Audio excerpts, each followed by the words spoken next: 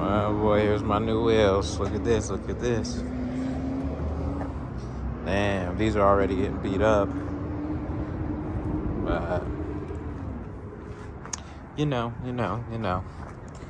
Damn, but they take hits like a mother. So you guys want good wheels, GMR. It saved me a lot of money. I don't have to keep buying a Ray wheel every time I go to the track. So, and the VFKs were just way too heavy, so that's why I got these. These things are just as light as my Rays. Woo!